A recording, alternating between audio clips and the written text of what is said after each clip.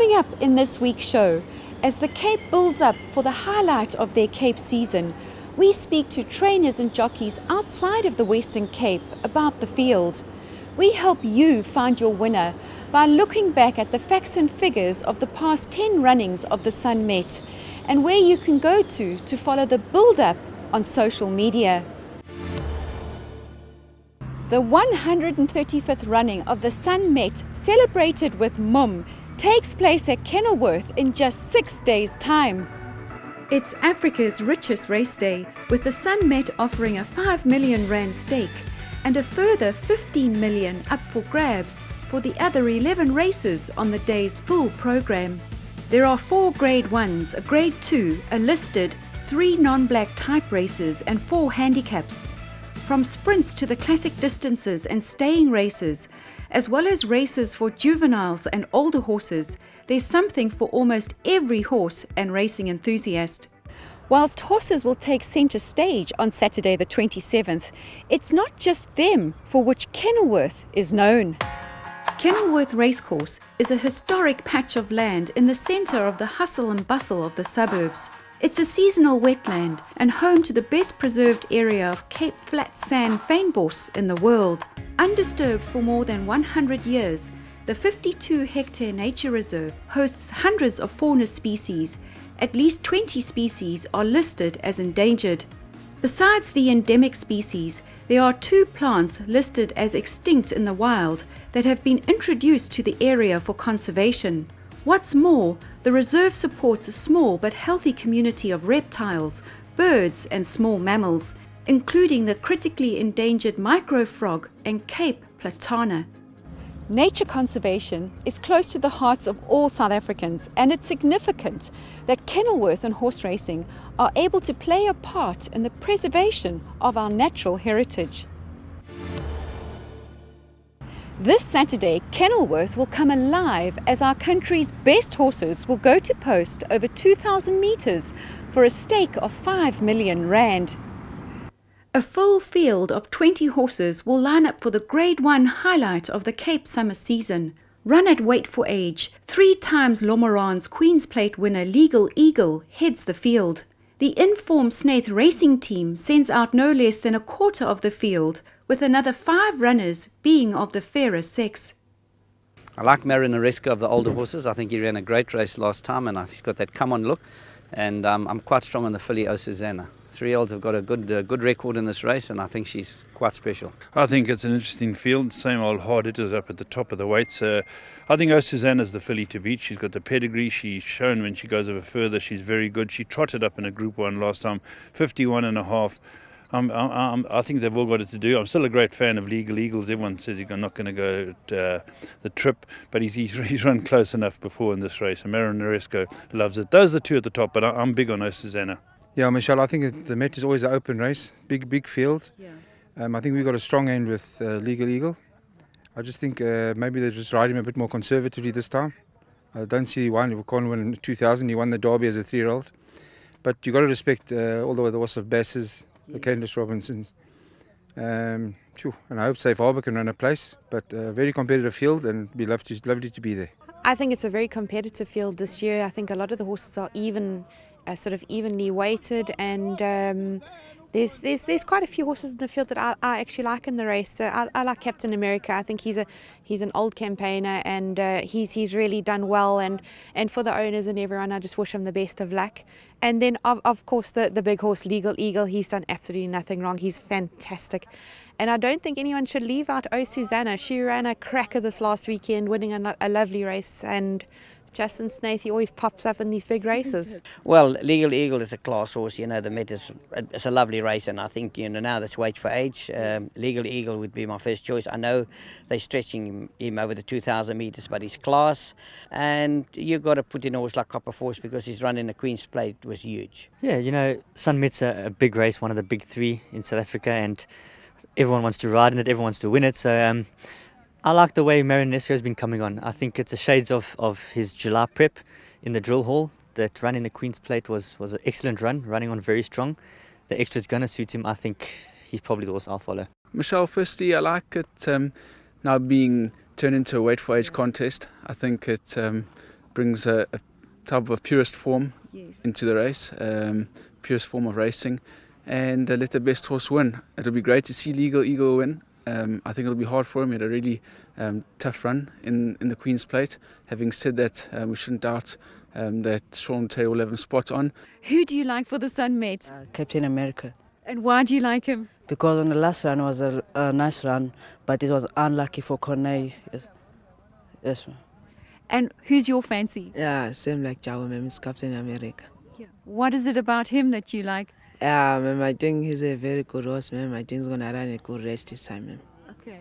And who's your pick for the race? Marinaresco. He's a nice horse. He ran a cracker over July last year, and I think if he's fresh on there, he's going to take it. It's always uh, exciting to watch these kind of races, the top horses in the country competing, and um, I can't see Legal Eagle getting beat. Um, I'd love to see the little man Marinaresco uh, win it, but um, yeah, always nice to watch uh, top horses. I'm very bullish about Legal Eagle. Yeah. I think um, the way the race is structured with the weights now and his merit rating, I think we could see another multiple win of the Met. Um, I think Legal Eagle's going to be very hard to beat, um, and it's going to be good for the public because favourites winning are, are good for racing. us as race, South African racing fans, we all have a soft spot for Legal Eagle. But um, although him being a previous Derby winner, he just seems to be knocked off at 10 furlong level since this Derby win. But uh, we would obviously be rooting for him. Justin Snaith holds a strong hand. Yes. And uh, when you get to races of that caliber in South Africa, you've got a lot of horses. You can swing a blanket over many of them that all stand undeniable chances. Um, yes, Justin Snaith, I think he's um, thrown a cat amongst the pigeons with his filly, with uh, the low weight. Um, she won impressively last time. But uh, against that mob, those boys have been around the block. She's going to have the work cut out for her, um, albeit how good she is. Barring that, uh, it's going to be a very interesting race. And I think it's a magnificent uh, showcase for South African racing and for the world to see. These 20 will be running on hallowed ground, as the Western Cape is not only the birthplace of horse racing in South Africa, but the Metropolitan was first run at Kenilworth as far back as 1883. For just over a decade between 1895 and 1909, it was run more than once a year. In 1901, racegoers couldn't get enough of a good thing when it was run five times in March, April, June, October, and December. It was not run in 1914 and 1918 due to World War I, and in 1943 and 44 it was run at Milnerton, with Kenilworth being used during the war years as a military base. The Met was traditionally run in November before it moved to January in 1947 when Thorium beat Cape Heath by three and a half lengths. Originally, the race was run over a mile, but by 1915 it had been extended to 1800 meters and finally set in at 2000 meters in 1948, which remains the running distance today.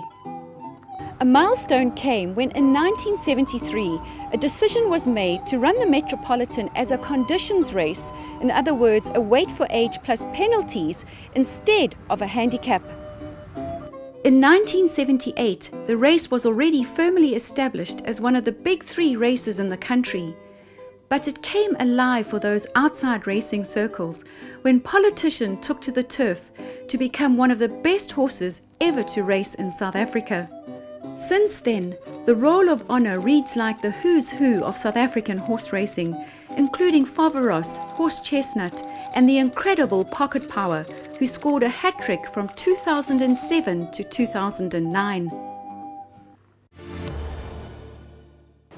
For many attending the Sun Met, it could well be about simply having a flutter on the day, whilst for others, a glance over the facts and figures could be more telling in deciding on how to structure bets. In the past 10 years, the most successful trainers have been the Bass team with three winners. They've also posted three of the first four in 2010 and two of the first three in 2009. This year they saddle number 3 Marinaresco, 15 Horizon, and 17 Nightingale. Brett Crawford has previously won with Whiskey Baron and Futura. This year he sends out number 2 Captain America, 4 Sail South, and 7 Nebula. Sean Tarry has finished second three times in the last three years, twice with Legal Eagle and once with Gold Onyx. Legal Eagle returns once again in a bid to claim the race that's eluded him, along with number 18 Safe Harbour. Bernard Fayd'Herbe has been the most successful jockey in the past 10 years, having twice ridden Pocket Power to victory and Futura in 2015. In addition, he's been third twice, and this year rides number 14 African Night Sky. Anton Marcus rode Hill 54 into the number one box in 2014 and been second on no less than four occasions. He is once again aboard Legal Eagle. Grant van Niekerk is ultra consistent, having been placed in the last four runnings. He rides number 20, Oh Susanna. If you've taken a liking to a particular horse but are discouraged by its odds, don't be. The last three winners of the Sun Sunmet have won at unlikely odds. Whiskey Baron at 6 to 1, Smart Call at 8 to 1, and Futura at 2 to 1. In fact, in the past 10 years, four favorites have won Futura, Igugu, and Pocket Power on two occasions. Big betting moves have included Smart Call, who shortened from 40 to 1 to 8 to 1 to win in 2016 while Martial Eagle drifted all the way out to 80 to 1 before crossing the line first in 2013. The Sunmet is generally a closely fought race, with the average winning distance being 1.29 lengths. Pocket Power recorded the narrowest margin when just 0.25 lengths ahead of Dancer's Daughter, but Smart Call took one back for the fillies when trumping the field by three and a half lengths in 2016. Although low number draws are slightly preferred on the Kenilworth track, draw 8 and 14 have been successful three times each in the past 10 years, and draw 9 twice.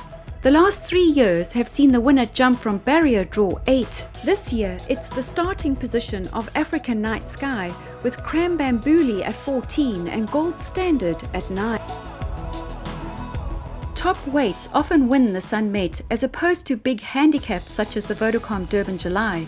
Nine winners in the last 10 years have carried 57 or more. With the race now run at weight for age, 18 of the 20 runners will carry 57 or more. Although O Susanna looks an interesting prospect at just 51.5 kgs, at a 15 point differential in merit ratings with Legal Eagle, she will still need to improve to feature at weight for age. The Colts and Geldings haven't always had it their way, with Smart Call, Igugu, and River Jetez winning in 2016, 12, and 10. This year, five fillies and mares will line up in numbers 16 to 20 Nother Russia, Nightingale, Safe Harbour, Cascapedia, and O Susanna. The event guarantees fine horse racing, style, fashion, and entertainment at the height of the mother city's summer season. So, what is it that you need to know about the day? Kenilworth Racecourse will be turned into Cape Town's very own catwalk when style ahead of the field encourages all Sunmet racegoers to come dressed in colours, prints, and textures inspired by Africa. Don your Afro chic attire and get ready to celebrate Africa's richest race day in true style. One of the most talked about activities at the Sunmet has to be the after party, Organisers have pulled out all the stops to bring you the best of South African talent, featuring DJ Kent, DJ Zinhle, Euphonik, Mi Casa, and Vin Diesel. Make sure you and your friends join the party to end a day of glamour and style. In 2017, guests did not go thirsty. From the time the gates opened at 10:30 to the last notes of the after party at 11 p.m., approximately 3,000 bottles of GH Mumm champagne were opened on the field. If you consider that there are approximately 49 million bubbles in a bottle, it explains the particularly effervescent crowd. How bubbly! The inaugural Sun Met celebrated with GH Mumm was a social occasion both on and off the track. Looking at Twitter alone, hashtag SunMet was estimated to have reached almost 1 million people. Now that's something to talk about. You can follow the SunMet 2018 on their Twitter page at SunMetZA. Like the event on Facebook at facebook.com forward slash the SunMet. Join their Google Plus circle and connect with them on LinkedIn. You can also check out photos on Instagram and follow the Pinterest boards on what's happening in and around Cape Town as part of the build up to the race. The true ability of a thoroughbred is measured by its innate speed. So it's apt then that the fastest human on the planet, Usain Bolt, will be making a turn at Kenilworth on Saturday. Be sure to catch him and get his autograph. That's a wrap for this week's show. We hope we have kept you on track in finding the right horse to back in the 2018 running of the Sun Met. Okay, so this is where we stand to do the shoot. This is where Alan Duncan, our cameraman, puts me standing on this wall in order to bring you the best news, views, and previews for the Sun Met.